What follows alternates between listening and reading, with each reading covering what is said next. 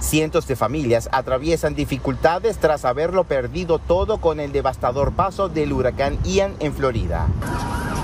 En Fort Myers, la necesidad de contar tan solo con una botella de agua potable, algo de ropa e incluso comida es una prioridad para adultos y niños. Son más que nada son líderes de gente de buen corazón que vienen a, a prestar su ayuda y de cierta forma pues también a través de la necesidad las familias completas que tienen niños vienen a, a cubrir ese, tipo de, de, de vivencia que tienen. Luis Chávez es damnificado. Acompañando a sus vecinos, se organizan para reunirse en el centro de acopio y recoger todos juntos lo necesario. El apoyo emocional también es importante para estas personas. Asociaciones civiles están dedicadas a la asistencia de los afectados por la tragedia natural. Nos contaron que la ayuda será una demanda de largo plazo ante la magnitud de la destrucción.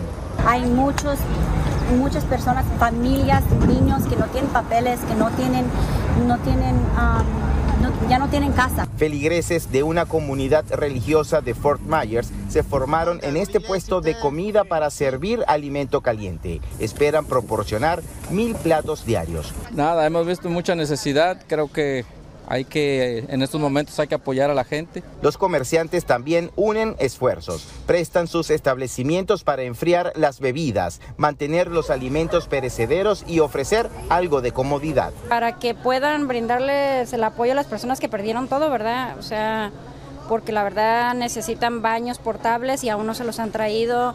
La muchacha me dijo que iba a tratar de traer bañeras para que la gente pueda tomarse una ducha. Organizaciones no gubernamentales instan a seguir enviando donaciones, pues la necesidad será prolongada.